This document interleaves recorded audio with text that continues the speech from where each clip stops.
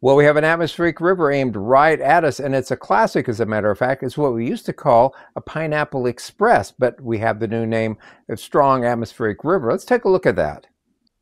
This is a beautiful example of a strong atmospheric river. You can see we're up here in the Pacific Northwest and track it all the way down, this moisture source all the way down into the subtropics. In fact, if you look closely, there's the Hawaiian Islands. So this comes down just north of them and ends up at the same latitude. So it's bringing that subtropical moisture directly up into us. So a pineapple express, people did say you could smell pineapples in it occasionally. I don't think that I've ever experienced that, but you can see it definitely stretches across there. And just like a hose stretched out and pointed at us and moving up and down the coast. We take a look at the modern uh, technology, the AR scale from Scripps Institute down at the University of San University of California in San Diego.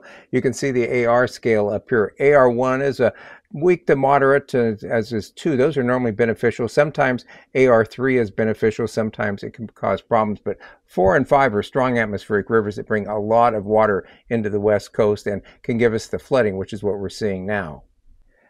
So atmospheric rivers come in different flavors. Basically AR1, 2, and usually 3 are beneficial. They actually bring most of the water that comes to the west coast of the United States, so important in fighting drought. But you get into 4 and 5 and so much water comes with those that we do have problems with seeing that flooding, and that's what we're dealing with this week. The good news is things will be drying out a bit as we head towards the end of the week, and we'll get back in a more normal pattern that gives us rain, but not so much at one time.